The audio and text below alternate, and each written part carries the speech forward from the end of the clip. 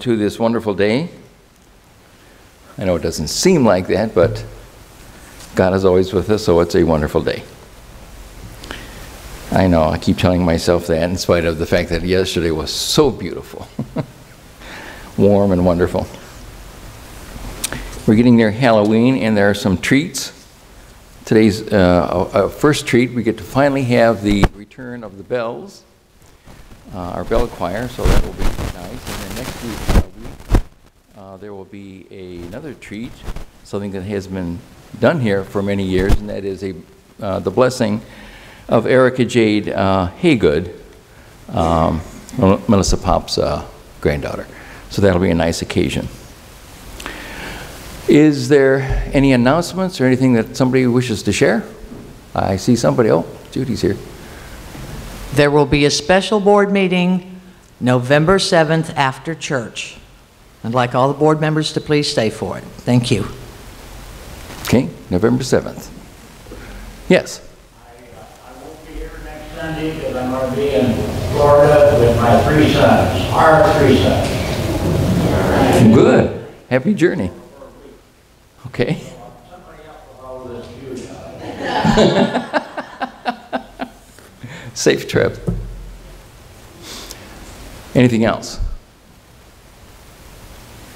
If nothing, let us rise for our first hymn.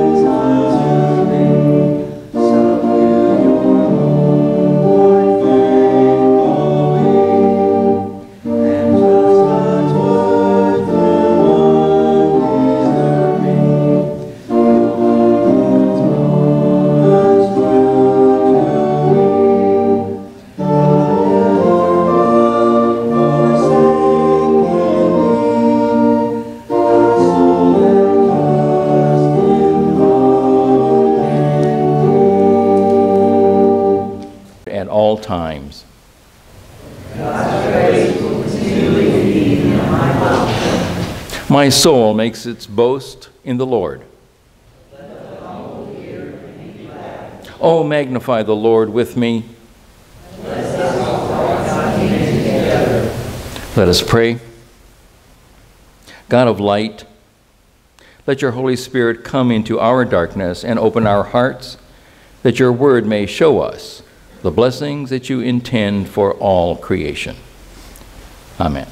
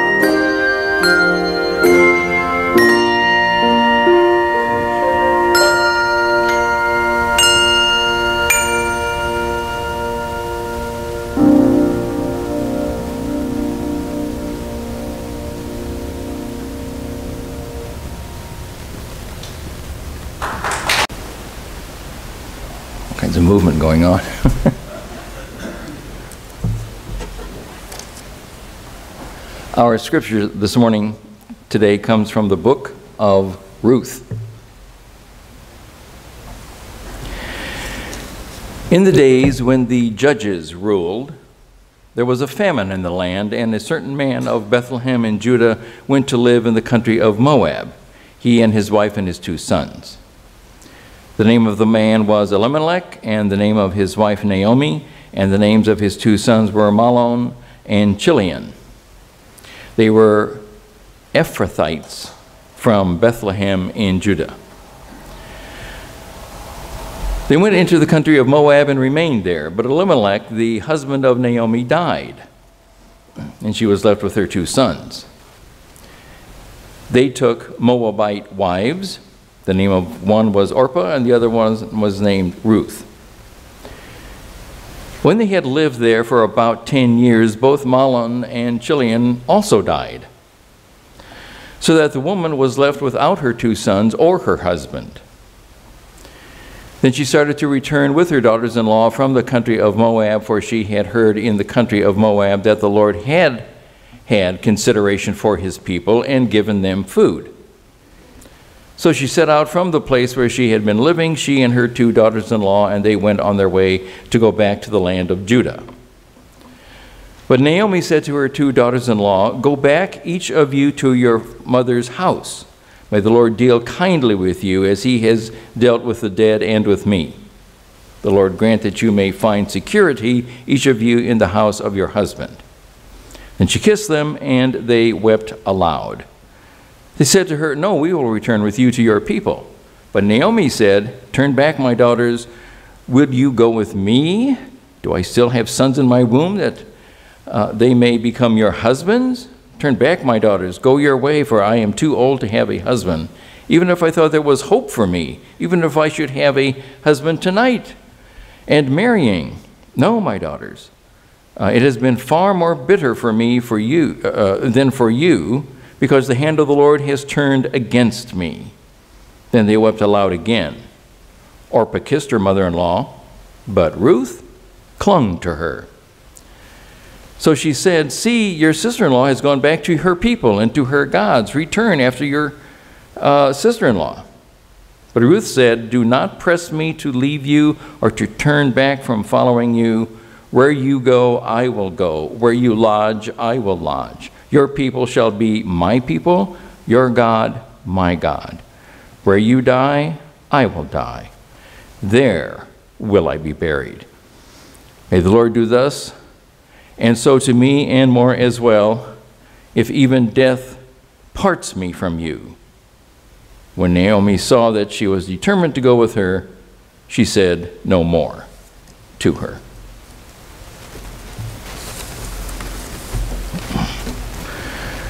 Down through the years, in novels and certainly in movies, there are just great, great love stories.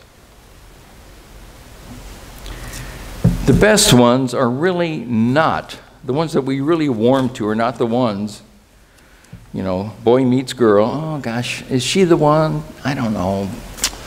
You know, does she like me? Do I like her? And is there a better one out there? And, you know, and that's not a good story. The best romantic stories is when there are no choices left. For instance, Casablanca. You know, uh, of all the gin joints in the world, you had to walk into mine. So says uh, Humphrey Bogart, seeing Ingrid Bergman for a second time in his life, and has to talk strongly to her. Yes, the love is still alive, but you've got to get on that plane and leave with Victor. Not me. You can't go where I have to go. It's a great movie. Some of the classic love tales are those who, who, about people who cannot stop loving no matter what the circumstances are. Enter the book of Ruth. It's a classic love story. Famine has hit Israel. Elimelech, whatever he does, works in the fields or has a profession of his own, we don't know but they're on the edge of starvation and he hears, you know, things might be better over in Moab. Uh, the smartest thing I could do is just drop everything, take my starving family, and go to Moab. Now, that's one huge decision. That's like being a traitor. You're one of God's chosen people. You don't leave the chosen land, God will provide for us. He gets a little bit nervous about this. And it's like, no, no, no, we're going to we're, we're to go to Moab. So they go to Moab. He and, and Naomi and their two young sons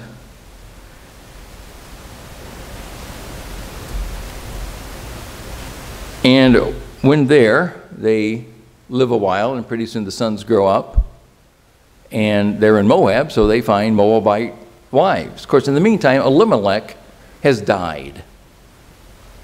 And so the boys find wives and find women and bring them home to meet mom. And mom probably says, you know, if your dad was alive, he would absolutely not allow this at all. Hebrews do not marry outside of the religion. You don't find that in the story, but almost assuredly that, that kind of conversation probably occurred. But they go ahead and find Moabite wives and marry them and have families of their own. And then both of those sons die, just like Elimelech. And now what you have is a group of three widows. What are they going to do? the ancient world is not really kind to widows. So Naomi says, well, you know, she has heard word from Judah that really God did provide. Things are a bit better in Judah. So maybe she better return, but her daughters in law are Moabites. They have no desire or reason to ever come and follow her to Judah and her husband's families are in Moab. So it's best if you just go back to your husband's family. They'll take you in. Don't worry about it. And you're young and you're still lovely. You'll find new husbands. Moabite men marrying Moabite women. That's the way it ought to be. It makes sense. It's reasonable. They accompany Naomi, and Orpah says, Yep, She's the reasonable one. She thinks through this, yep, yep. My mother in law is right. She's a good voice of reason. It's the practical thing to do. I'll stay.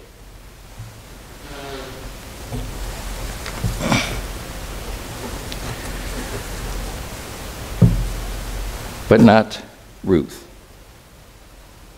Ruth says the words that have been used as homilies in, in weddings down through, the, down through the years. I will go wherever you go. Your people will be my people. Your God will be my God.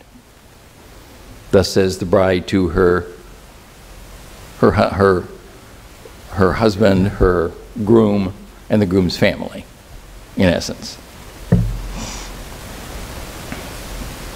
Now, looking at this at the outside, it tends to look like, well, she has a choice to make. It was a choice to Orpah, and Orpah decided, and yeah, okay, I'll stay. The interesting thing about the story is that, that it is not a choice for Ruth. We are so used to choices that in reading this, that's all we see in this story are choices. America loves individualism and choices. I was in the grocery store the other day looking for Cheerios, and there's Cheerios. And five other versions of Cheerios Cheerios with blueberries, Cheerios with cinnamon, and, and the more healthy Cheerios, and I forget what the other ones were. I just want Cheerios. Well, do you want the regular size, family size, and now there's the mega size? I was at the restaurant yesterday with uh, the Magic Group, at the Village Inn and decided to have a 222 breakfast eggs, meat, pancakes.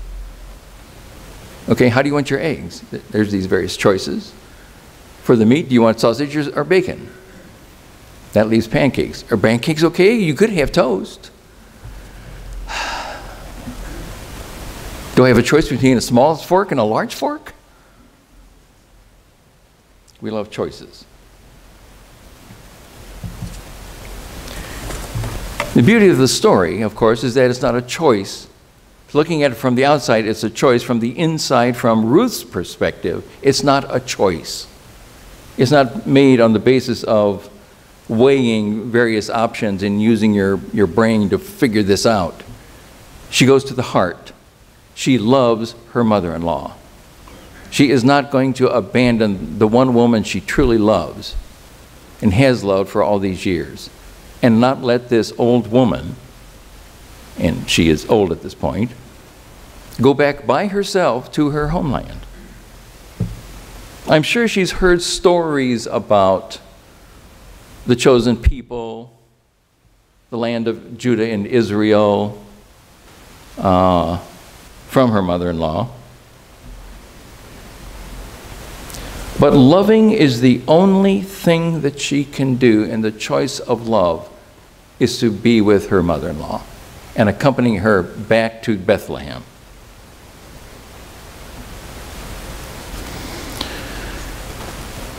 Of course, Naomi is a little bit concerned about this. She fears, you know, going back to the neighborhood and they'll say, oh boy, look at Naomi. You know, she got what she deserved by turning her back on Israel. And when she does get back, she says, Do not call me Naomi, which means pleasant, call me Mara. Mara means bitter, because the Lord has dealt with me bitterly. Oh dear. She's become a little bit cranky. Ruth now, in the meantime, needs to do something to bring in food, and she becomes a gleaner in the, in the fields. And there is written into the Mosaic law that when you do the planting and the harvesting of corn and grain, you leave certain stalks uh, in the field, and then the gleaners come, that is, the poor people come, and gather up the stalks and the uh, corn uh, that they can find. this is done deliberately. And the overseer, Boaz, notices her. She's still young and lovely, and she, he comes over to her and says, Don't worry about anything. I will uh, protect you. I'll take care of you. She goes home and tells Naomi. Naomi comes up with a plan. And the plan now involves the threshing floor where the grain is brought. It's a very sketchy story. The predominance of opinion is that uh, this is a Hebrew seductive scene between Boaz and Ruth. Others aren't so sure, but like I say, the predominance of opinion is that this is what happens. The result eventually is a baby born to them, a son named Obed, and they do get married, and the end. Now, in putting together the closed canon of the Bible, one might say, well, that's a nice little rustic story about a little group of peasant families and, and the, the uh, ups and downs they went through in life. Why do, we need to, why do we need to put this in the Bible? Because the punchline is at the end. Ruth is the mother of Obed, and Obed is the mother of Jesse, and Jesse is the mother of a, of a boy named David who becomes King David. Ah, we must include that story because David came from spiritual loving stock. His great grandmother was a truly loving person, and he has spiritually inherited that. You turn to the New Testament, we find out that 30, 30 generations beyond uh, David is Joseph. So even the Messiah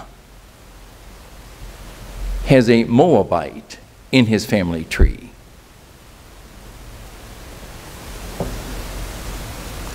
David could have looked upon this as embarrassing. Ooh, I've got Moabite blood in me. But that doesn't come up. There is respect for the love of his great grandmother. What do you do when famine comes and your husband dies and your children die? Ruth would say you just keep right on loving, right through the circumstances that you're living with.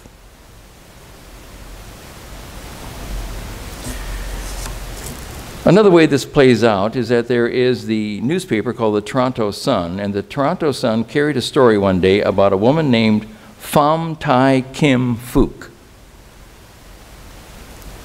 Anybody recognize that name? You all know her because there's a photograph of her and you have all seen it. During the time of the Vietnam War, a village over there was napalmed and children ran out of the village.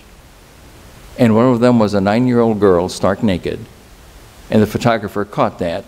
And that's what showed up on the Toronto Sun and newspapers all over the country. It was, in fact, it was a, strangely enough, a Pulitzer Prize winning photograph at the time of a young girl named Pham Thai Kim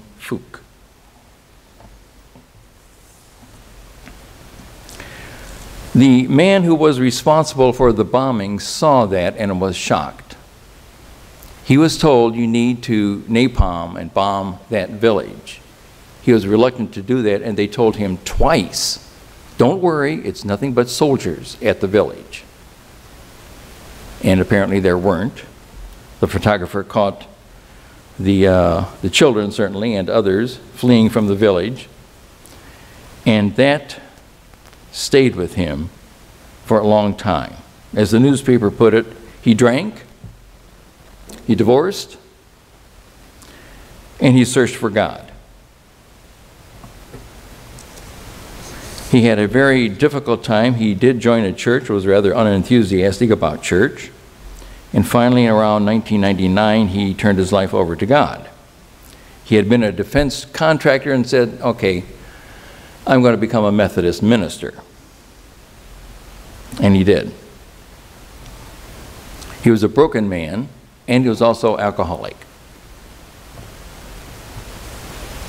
And he had nightmares, constant nightmares about that suffering child, seeing that picture in his mind, or sometimes, you know, the picture comes up every once in a while, histories of the Vietnam War. And to him, that girl was looking at him from the picture saying, You did this to me. He suffered with that. He finally did overcome his alcoholism and his brokenness, and he did that because when they came up with the Vietnam War Memorial, they found out who that girl was and invited her, now as a grown woman, about 25 some years later, to come and speak at the memorial. John Plummer, I don't know if I, did I tell you that name earlier? That's the man's name, John Plummer. He lived about uh, 90, 90 miles away from the War Memorial uh, thing in uh, Washington and decided to go and see what she had to say. So he went and was at the absolute back of the crowd, and she had this to say. If I could speak directly to the pilot who dropped the bomb, I would tell him that we cannot change history, but that we should try to do things for the present. John Plummer then grabbed a piece of paper and wrote on a, and scribbled on a piece of paper, I am the man. Handed it to a policeman and had the policeman deliver it to Kim. She went by the name Kim at that point, even though that's the third name in her, name, in her name. I am the man. There was not a photographer later on to take the picture, which would have been nice. But the two of them finally met after her talk, and they hugged each other, and he broke down and cried and kept saying to her over and over, I am sorry, I am so sorry. And she said, I have it written down here, It's all right. I forgive you. Now, I can't imagine Kim being in Vietnam, getting this invitation, and saying to herself, okay, um, I'm going to go there and give this speech. Suppose that guy shows up. Can I forgive him or not? Let me think out the various reasons for forgiving him or not forgiving him and weigh them in the balance. No, in some ways she followed without knowing, maybe ever, ever, ever having read the book of Ruth, she followed that same path. There is no other thing to do but to continue to, to, to continue loving. Whatever life has handed you, you keep on loving. The Danish philosopher and theologian Søren Kierkegaard said that people live on three levels. He puts the first level as the aesthetic, that's the lowest level where people do whatever they want to do and really don't care much. Second level is the ethical level, as he calls it, and says this is where people follow the rules. It's not too different from the first re level, really. The third level he calls true religion. Life is a journey. It takes you wherever it's going to take you, and wherever you go, you keep on loving. You see things from the outside, and you have hard decisions to make. When you look at things from the inside, you realize that the grace of God is leading you and you keep on loving. What happens in when people die? What happens when there's famine? Famine? What happens when when there are troubles? What happens when the church disappoints us? What happens when, like me, you're disillusioned with the whole world?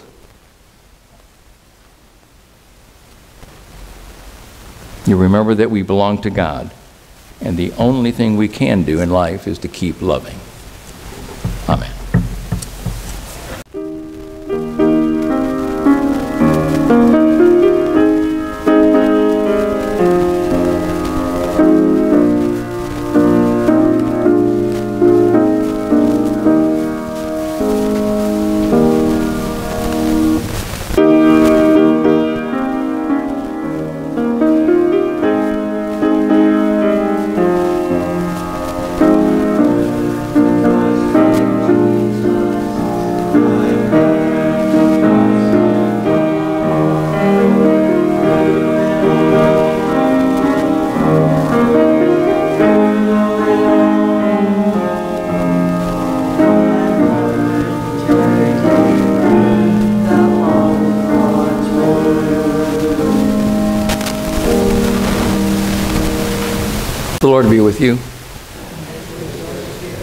Lift your hearts up to the Lord. Let us pray.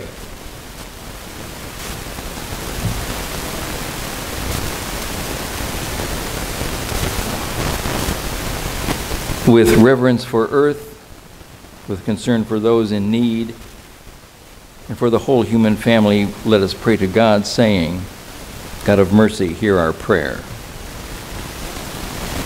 We give you thanks, O God, for the riches of this day and for this season.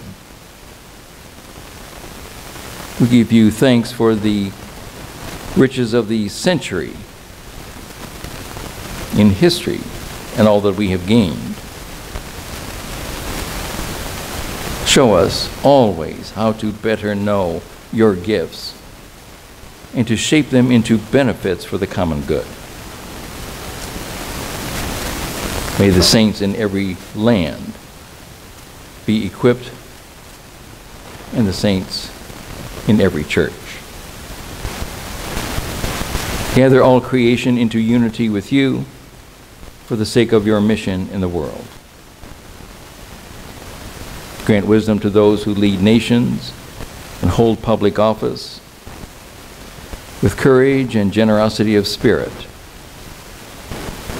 May they have the humility to speak truth in love.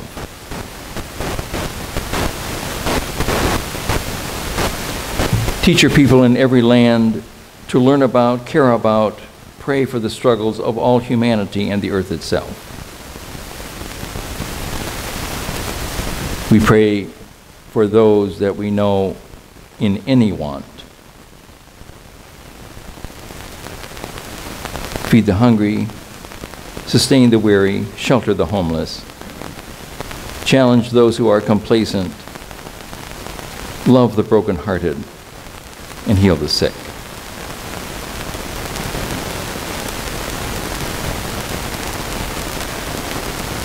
Give us our daily bread, what we truly need each day. Make us satisfied with the essentials of life. Teach us to live in gratitude, that your gifts may increase our awareness of the need of others.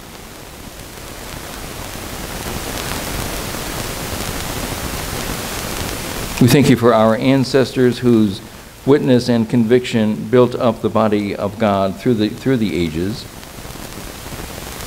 Sustain us with the bread of life that fed them, that we in turn may be the supportive foundation for the next generation to build upon.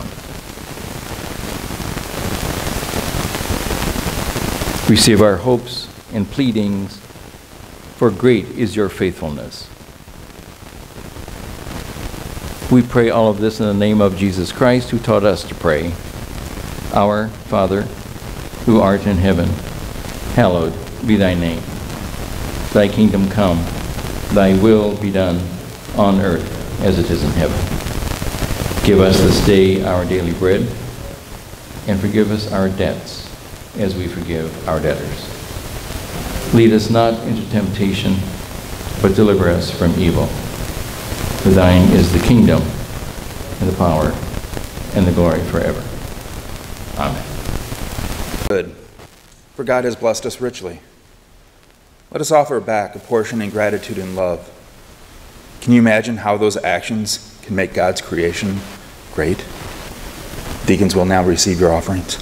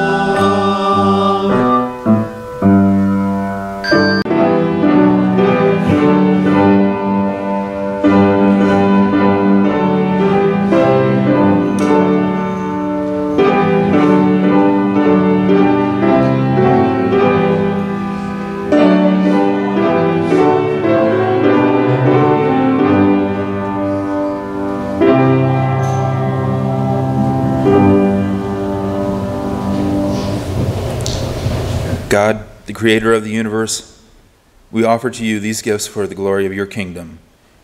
In the name of God, Father and Mother, Son, and Holy Spirit. Amen.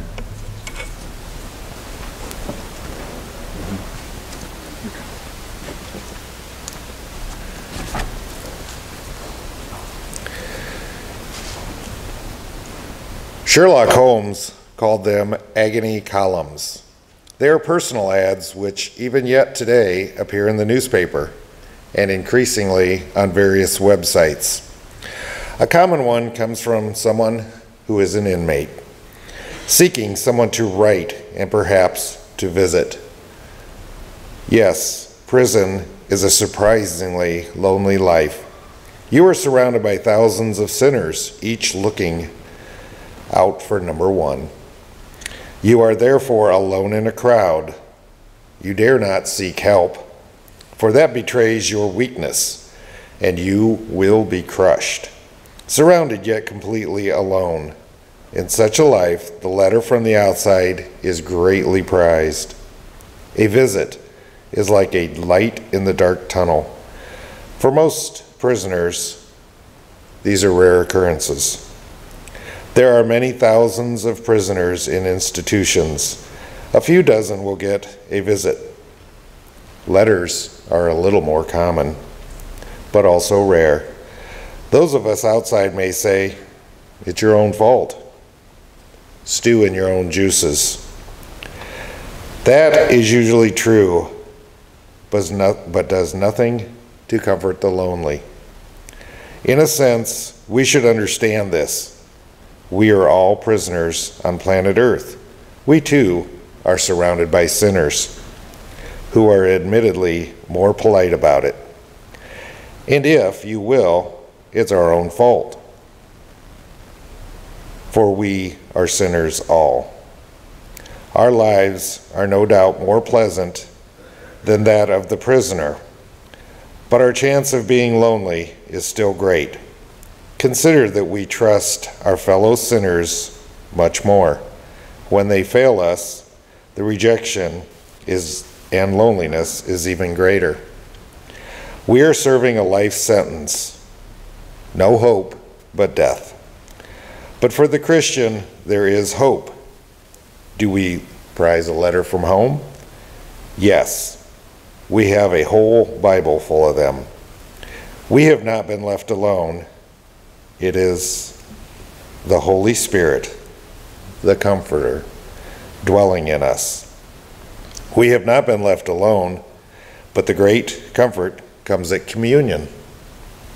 It is a visit from our Lord. He tells us, This is my body. There is greater hope than that. We celebrate this memorial until our Lord returns. It is then that the bars of death will be torn away. We shall see the end of tears and loneliness and celebrate indeed.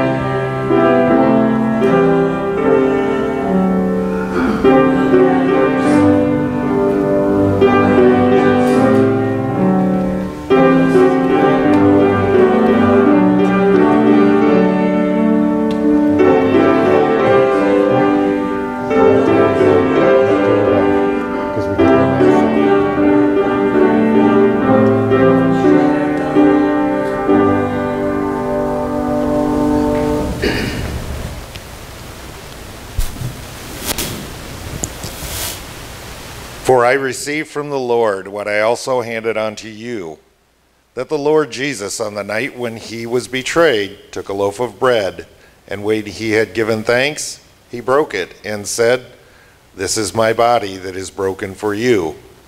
Do this in remembrance of me.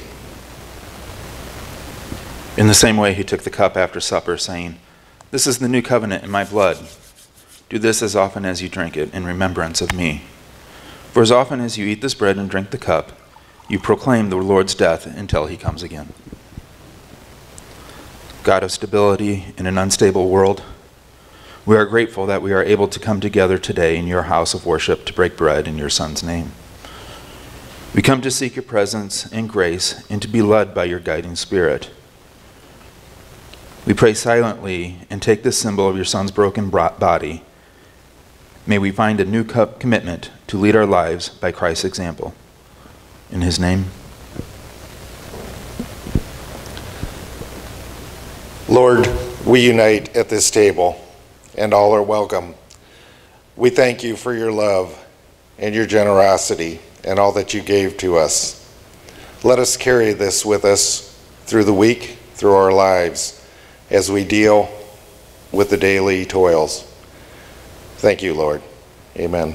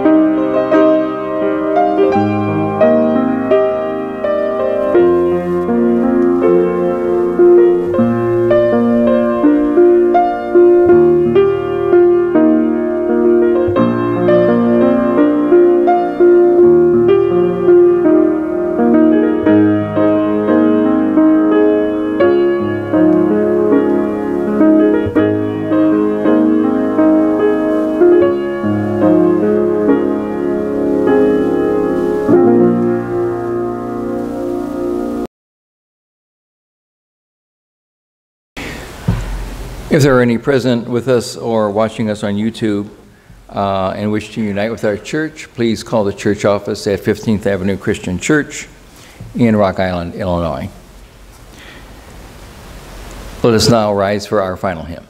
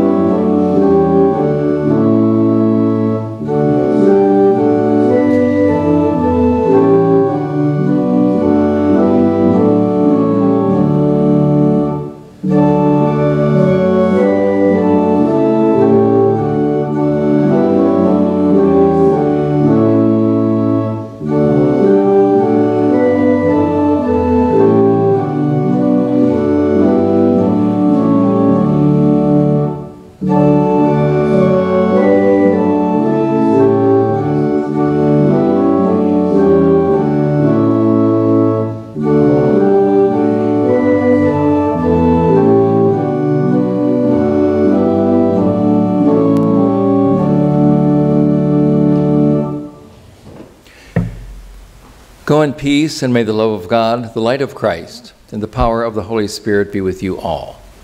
Amen.